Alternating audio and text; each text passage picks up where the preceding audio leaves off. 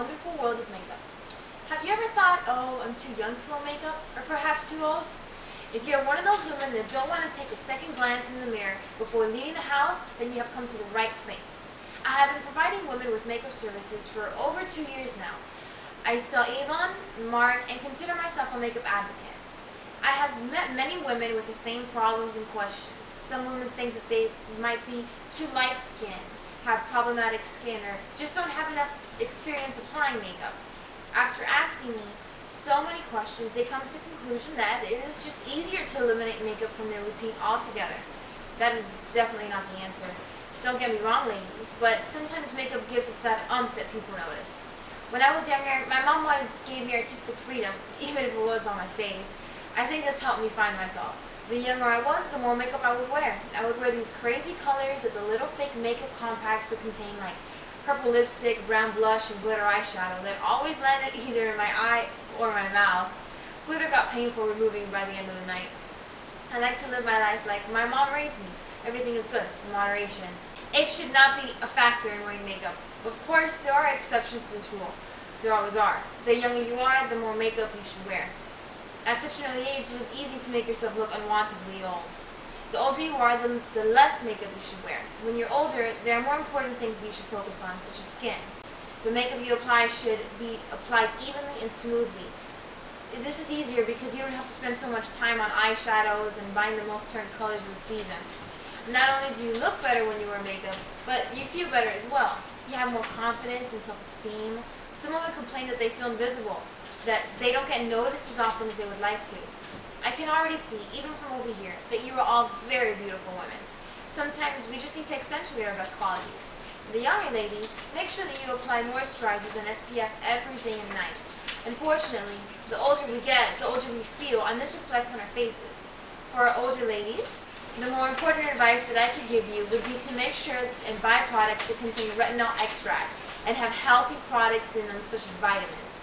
You could never go wrong with too many vitamins. I cannot stress the importance for everyone to make sure and wear SPF moisturizer every day.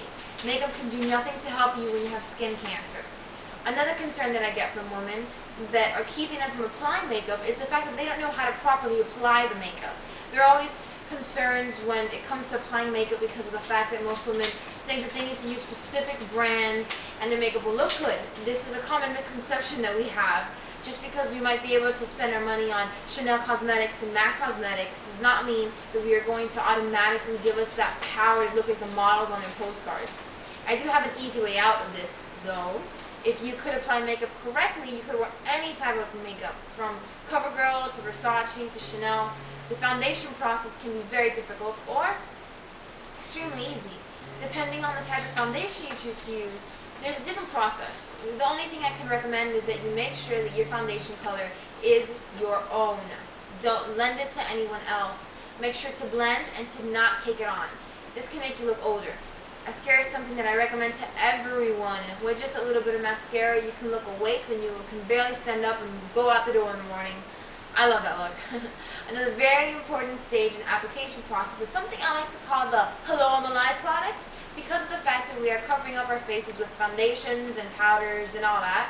Um, it is easy to not have that natural rosy coloring in your cheeks. Blush comes in handy when this happens.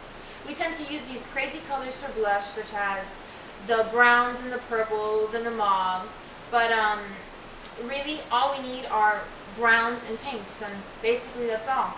I like to recommend the color between brown and pink because of the fact that it goes with almost any skin color.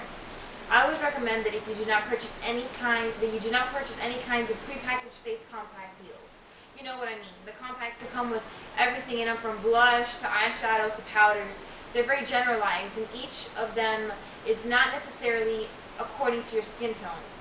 We should never generalize our routine into something that we can buy completely from a prepackaged compact. Well, ladies, unfortunately, our time has come to an end. I hope that you have enjoyed what I have had to say. I hope you have learned everything from me and the wonderful world of makeup. Makeup is fun to use and it can benefit you in many ways, perhaps some that you did not think were possible. Now go out and have some fun.